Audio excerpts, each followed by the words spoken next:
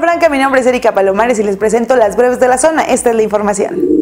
Ante los problemas de contaminación que se tienen en León por las ladrilleras que están operando, se destinarán 200 millones de pesos por parte del gobierno del estado para un programa de regulación. El gobernador Diego Sinué Rodríguez Vallejo explicó que es un modelo que implica la reconfiguración de la industria con hornos modernos y ecológicos que tendrán nuevas ecologías para generar tabiques, así como la reubicación de los actuales y la creación de viviendas dignas de los propietarios. Además de la contaminación, dijo que es un problema social que se ha detectado explotación infantil además de hacinamiento.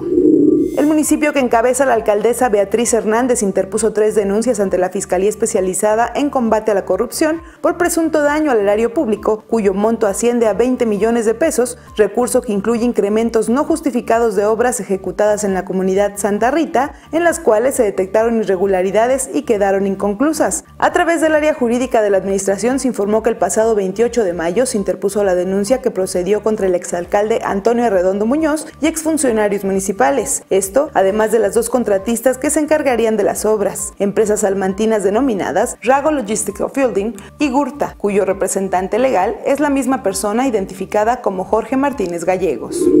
Los Bravos de León recibieron la peor paliza en la historia para un equipo de la Liga Mexicana de Béisbol. Cayeron estrepitosamente en el Alfredo Harp Elu, 29 carreras por cero. Blanqueados, humillados y apaleados son algunos de los adjetivos que se podrían utilizar para describir la más triste derrota de Bravos en su historia. La peor blanqueada registrada en la liga databa de 2012, cuando Sultanes apaleó a Rieleros de Aguascalientes. Además, se quedaron a una sola carrera de la mayor cantidad de carreras recibidas.